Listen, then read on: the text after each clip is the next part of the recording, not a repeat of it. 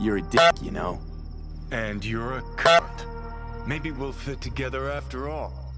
Uh, Johnny's what some of us might consider a little rough around the edges, if you will. Welcome back to the channel, everybody. Today I'm drawing the one, the only Johnny Silverhand, as well as his boy V. We're going to be talking about all things cyberpunk, so stick around.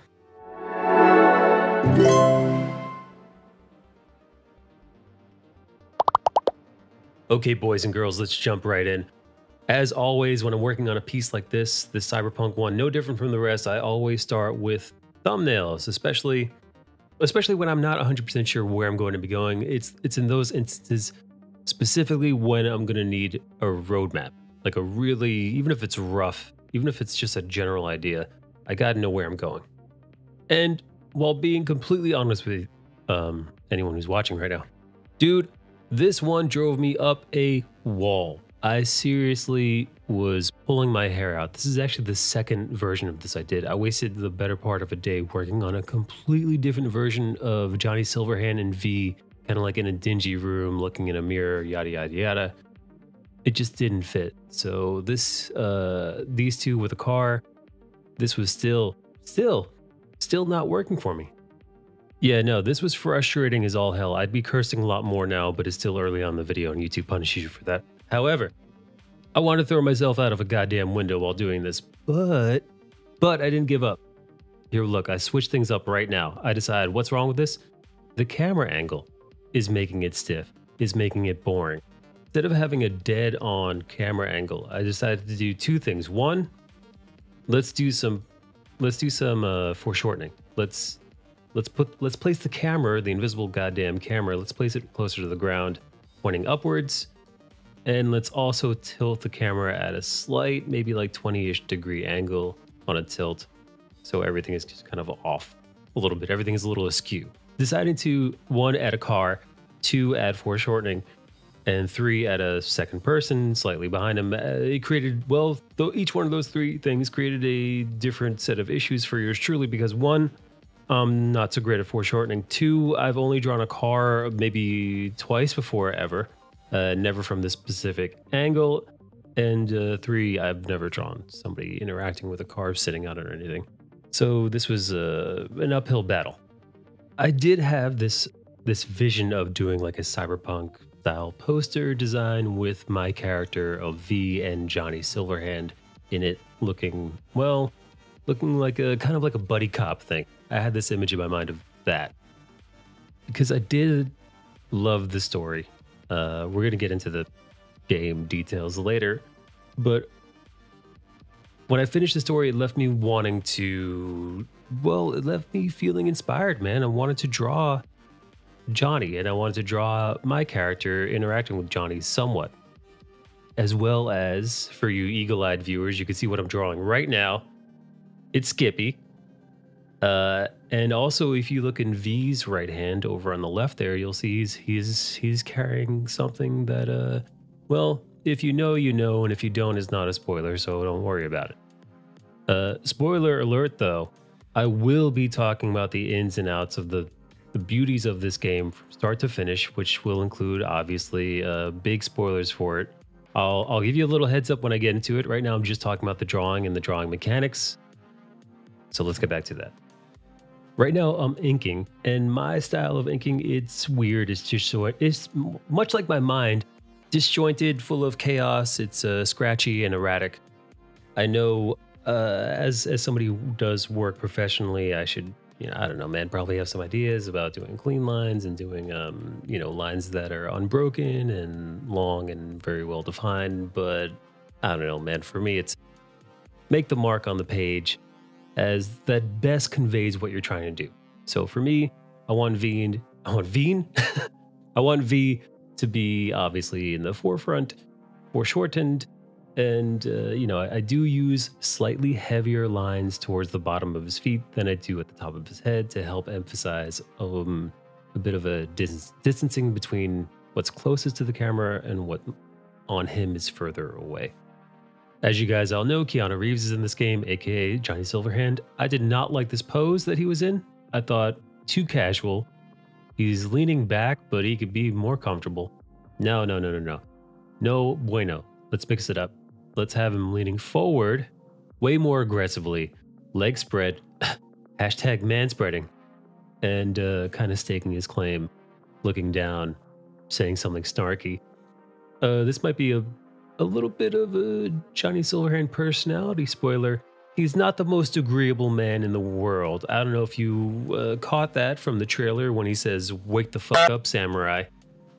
But yeah, he's not uh he's not exactly Mr. fucking Rogers.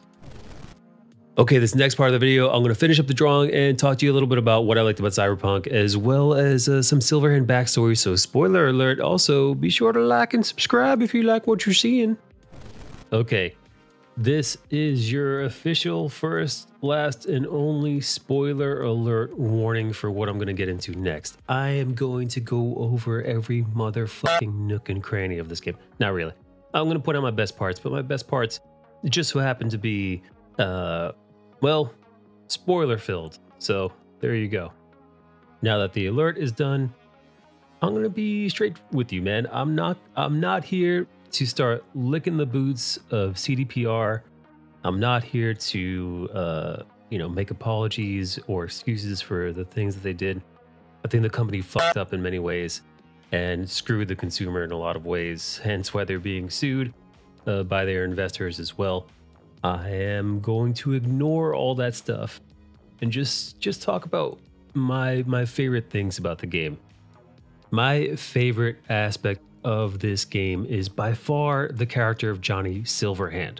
I think Keanu Reeves knocks it out of the park, especially considering he doesn't do this kind of voice acting. As far as I know, he's never done this kind of voice acting before. And if I'm being particularly critical, there are a few lines of dialogue that can come off a little clunky and a little stiff. Either that was maybe the way it was recorded, the way it was filmed, him just recording by himself. I would put Keanu Reeves' interpretation of Johnny Silverhands up there with some of his other best roles. Some of my favorites being uh, John Wick, of course, Constantine, Neo. One thing about Johnny Silverhands is uh, he's got a way with words. Check this out. You're a dick, you know? And you're a cunt. Maybe we'll fit together after all. Uh, Johnny's what some of us might consider a little rough around the edges, if you will. Uh, actually, when the game started, I, I couldn't fucking stand this guy. I wanted to strangle him. I wanted to like punch myself in the head hard enough that he would die. Oh, spoiler alert: uh, Johnny is dead. Johnny doesn't really exist. He died 50 years ago. This is a ghost of Johnny, a digital ghost that's stuck in your brain and it's killing you. If you didn't already know. I should explain that a little bit further. Arasaka killed Johnny after they'd taken his girl and done all the shit to him after the corporations had fucking he'd he'd fought for them, lost his arm for them. He watched this uh he'd watched Night City. He says he watched it grow to be a machine that ate people's dreams, broke their spirits, and leave, left them with empty pockets.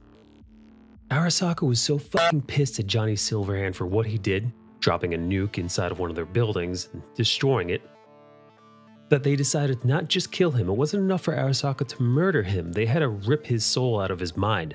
Essentially, you know, copy his brain patterns, whatever you want to call it, onto a digital copy and then trap him in a prison for 50 years where he existed in who knows, man, soul limbo or something. Anyway, he ends up in V, the main character, your character's skull, killing him through no fault of Johnny's. So it's not like Johnny's killing you deliberately. Johnny actually despite all the torment and the bravado, is actually, turns out, a good person trying to save your life. Sabotage a Corpo power station. Jump a Corpo transport. Kidnap a Corpo suit. Is this a plug for the word corpo, or do you have a point? Know what? You're starting to remind me of me, 50 years back. Minus the charisma. An impressive cock. Truth be told, this game is much more than Johnny Silverhand calling you a cunt and then telling you about how big his cock is. It introduces you to some other amazing characters. Uh, you meet some friends along the way, some frenemies, and then just some downright dirtbags, as well as characters that you can make the sex to uh, male, female. Um, I think that's it. Uh, oh, gay. You, if, hey, if you like banging dudes, you can do that. If you're a gal and you like scissoring ladies, you can do that too. And in regards to that, some of the love interests are locked, right? So there's some hard lesbians who won't touch you if you've got a schlong and you're, you know, male appearing. And there's some uh, there's some stra- super straight dudes. So maybe if you're in the body of a dude with a dick, they're not going to want to touch you either because he's super hetero, aka River, who is giving off super gay vibes anyway. So I don't know what his deal is. Uh, cock tease in my book, if you will. Cock teasing aside, uh, my character V wanted to hook up with Judy, which is all actually permitted in the game if you mod the game. All guess what? All the uh, voice lines for V to have a romantic relationship with Judy as a straight dude work still too. So you could actually have Panam and Judy for those who are curious. You could even mod the game to have sex with Johnny Silverhand too, in case you're curious and that was something you wanted to pursue. Weird sexual predilections aside, although this game sometimes feels like it's in the beta, the story of it, the bones of the story, and the characters there within are so compelling and awesome and beautiful.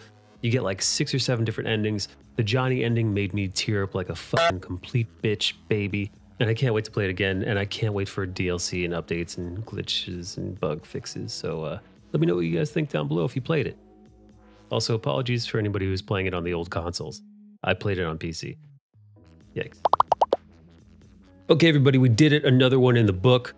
I'm ready for the next one. If you guys have any suggestions for the next video, somebody you want me to draw, I'm thinking I might draw that Resident Evil gal with the big old titties. Let's see. Uh, big shout out to my Patreon subscribers, my Twitch subscribers, and my newest YouTube subscribers. You guys are awesome. Thank you for like, sharing, commenting, subscribing. Y'all are great. If you want to get a hold of me, join my Discord, any other stuff, buy my merch print, blah, blah, blah, blah, in the description.